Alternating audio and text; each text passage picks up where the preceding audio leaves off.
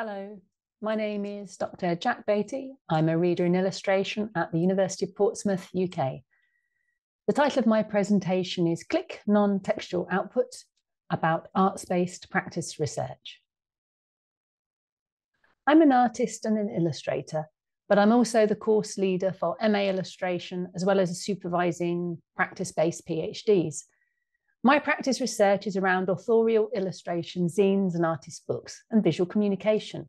And I regularly publish and exhibit my own practice, as well as speak about it at events such as this. This paper explores arts-based practice research from the UK university. In this context, practice research is still fraught with complexity and communication issues. It can be challenging to confidently share insights and developments with readers outside of one's discipline and there can be an overwhelming feeling of having to justify the value of one's own practice and to over explain every element to underline its worth. But what does practice research offer us? And how can we in the arts effectively communicate this to a broader academic community and beyond? Is there really a difference between practice based and practice led research? Or are there other ways to describe and share what we academic practitioners are actually doing?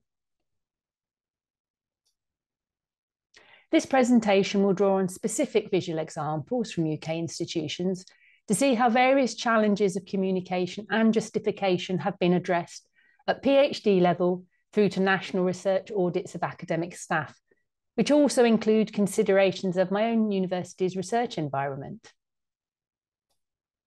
I will discuss and show examples of successful practice-based research outputs from the University of Portsmouth that were part of the 2021 Research Excellence Framework, the REF, a national research published audit. I will also show visual examples of how academic practitioners have contextualised their research outputs so they can be effectively shared. Thank you.